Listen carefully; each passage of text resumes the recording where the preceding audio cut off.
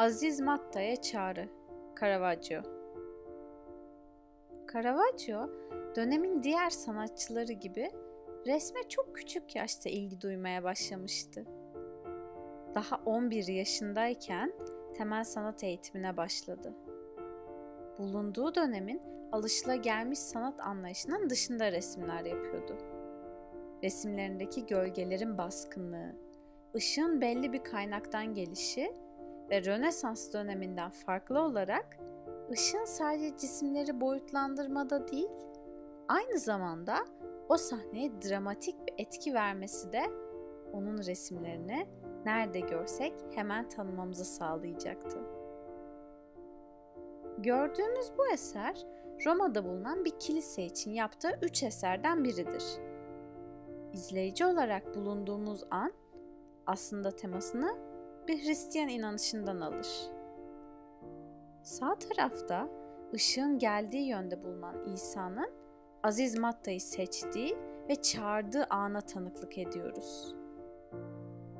Işık kaynağının hemen altında yer alsa da suratındaki dramatik gölgeden kararlılığı çok kolay bir şekilde anlaşılıyor. Sanatçının İsa'nın başındaki haleyi oldukça ince bir şekilde kullanmasına rağmen bu altın çizgi gölgeyle bir kontrast oluşturarak bize kendini hissettiriyor.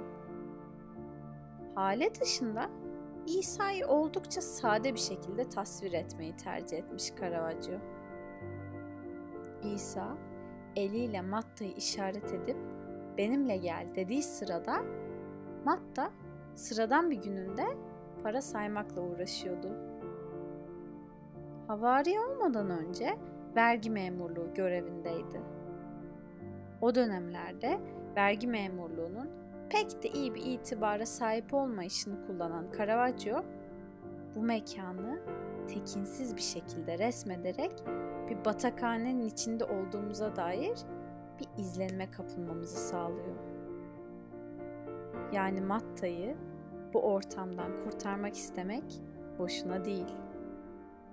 Matta'nın sağ eli paraların üzerindeyken sol eliyle ben mi diye soruyor.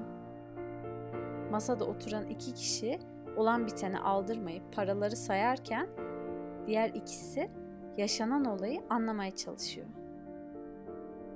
Kullanılan ışık sayesinde yüzü aydınlanan Matta aslında bu seçimle beraber ruhani olarak da bir dönüşüm içine girer. Dönemin sınırlarını aşıp kutsal kişileri sıradan insanları model alarak çizerek Caravaggio belki de dini hikayelerin insanların kalbine daha çok dokunmasını sağlıyordu.